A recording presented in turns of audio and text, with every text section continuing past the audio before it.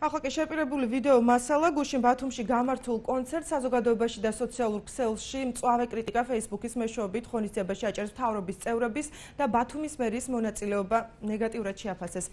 ფოტოგრაფი ლაშა ფალავანდიშვილი აცხადებს, რომ ქვეყანაში გამიმთარებული ტრაგიკული მოვლენების ფონზე საზეიმო ღონისძიების გამართვის და მასზე დასწრების შემდეგ პოლიტიკური პასუხისმგებლობის საკითხი უნდა დაისვას. ან მოხდარზე მთავრობის რომელიმე წევრმა პასუხისმგებლობა აიღოს და გადადგომის შესახებ განცხადება დაწეროს. საიუბილეო საღამოს ხელოვნების ცენტრში აჭარის საკანონმდებლო და აღმასრულებელი ხელისუფლების წარმომადგენლები დაესწრნენ.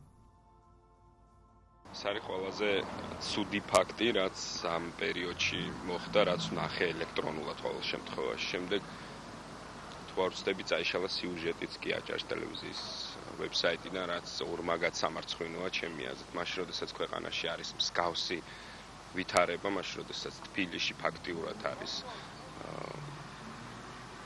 ევაკუირებული და რაღაც საოცარი ერთსლოვნება ახალახში მაშინ როდესაც დაღუპული ადამიანები ყავს დაზარალებული და ასე შემდეგ ამ დროს შენატარებს მსგავს ხონისებას ჩემი აზრით რბილად რომ თქვა გაუმართლებელია და ფიქრობ რომ პოლიტიკური პასუხისგებლობაც ამას ახლა